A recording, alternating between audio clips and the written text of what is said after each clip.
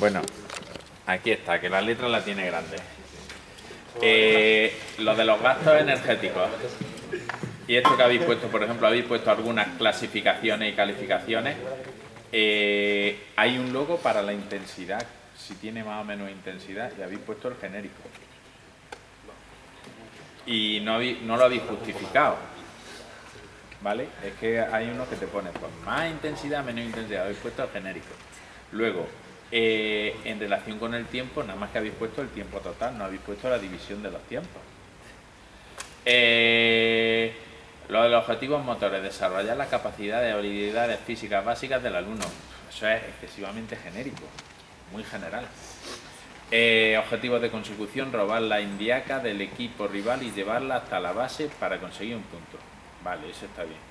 Ganar el enfrentamiento teniendo más puntos que el equipo rival al finalizar el tiempo. Está bien.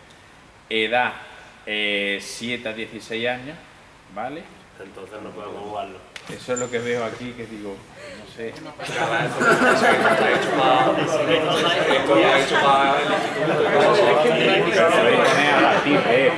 que luego puede jugar gente más sin problemas, seguro, ¿no? Pero luego lo de mayor de 12 años, nivel lúdico alto, la justificación de para mayores de 12 años nivel lúdico alto no va además tampoco con lo de la edad de 7 a 16, no lo he entendido. Porque es un...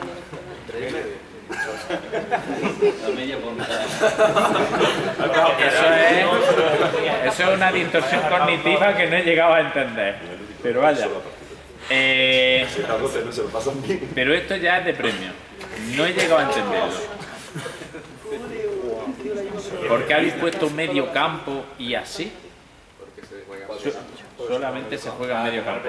Ya, pero si le digo, vale, pues si se representa medio campo, ponedlo más grande. No solamente el trocillo y todo lo dejáis en blanco, a eso es a lo que me refiero. Que si no, no cabe, no cabe Vale, habrá que creérselo, pero lo que digo es que si ponéis el medio campo, porque podéis ponerlo más... Bueno, eh, lo de las líneas están muy finas, las líneas son muy finas y solamente es que no hay ningún movimiento ni ningún desplazamiento en, en curva, nada más que son en línea recta. Y lanzamiento es que no veo ninguno, ni lanzamiento ni pase, todos son desplazamientos.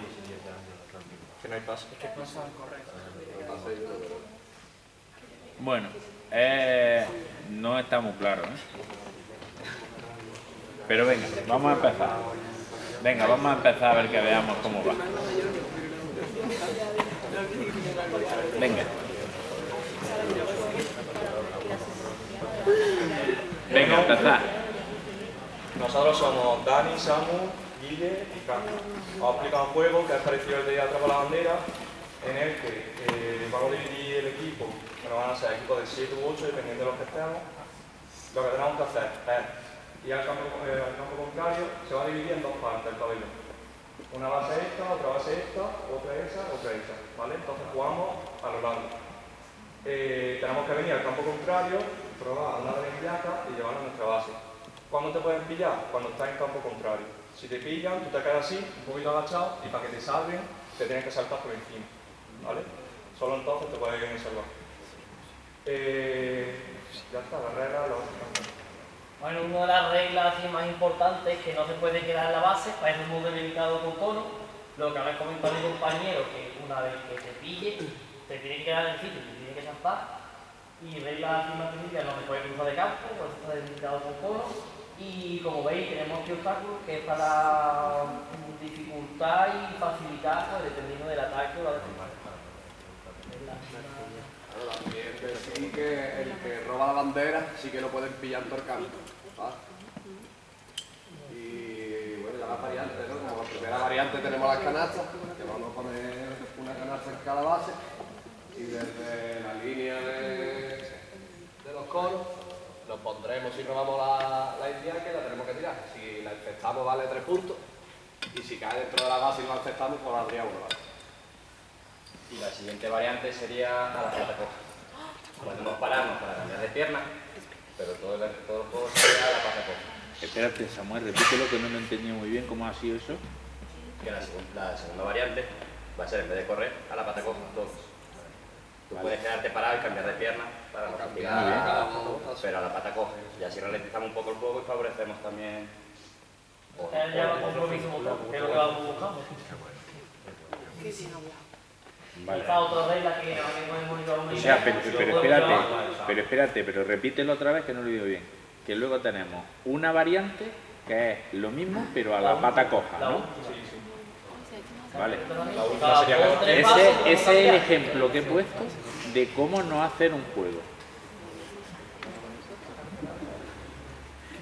Se os ha quedado, ¿eh? o sea, el de cómo no hacer un juego era que no se ocurra poner nunca una variante de y lo mismo a la pata coja. Porque eso no es una evolución dentro de las fases del juego. Pero si vosotros lo habéis visto oportuno, vamos a ver cómo va el juego. Pero ya hemos hecho otra evolución, ese sería el segundo. Ya, bueno, por eso. Nada, vamos a dividir la clase en cuatro equipos, ¿vale? Ser lo de pica, tréboles, diamante y no fuera. Diamante, mi equipo favorito.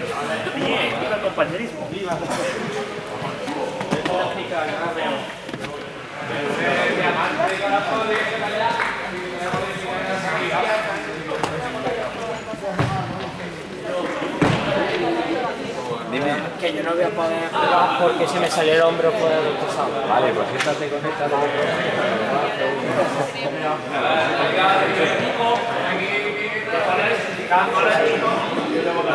¿En